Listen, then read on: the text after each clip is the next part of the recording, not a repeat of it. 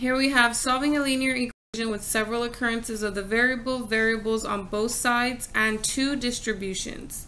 So we again we follow the six steps. So step one is to eliminate fractions. I don't have any. Step two is to eliminate the parentheses. So I have to distribute this two and I have to distribute this negative three. So we have 2y plus 6 equal to negative 6y plus 9 plus 2y. Step 3 is to combine like terms. There's no terms to combine on the left. And on the right, we end up with negative 4y plus 9. Step 4 is to move the variable terms to the left. So we get 6y plus 6 equals 9. Step five is to move the constant term to the right. And then the last step is to divide by the coefficient.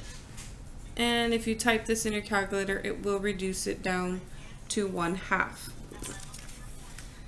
Now, you distribute here. So again, no fractions. Let's distribute. So we're distributing a negative 2 this time. So that becomes positive 16v, negative 8. This minus v will come down. Here we're going to distribute the 5. 5v minus 15, bring down the minus 9. I have two terms I need to combine on this side.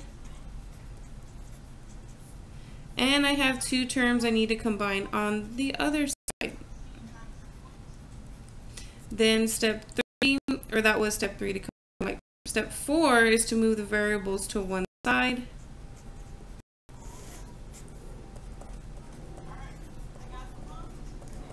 And then step five is to move the constants to one side or the other side.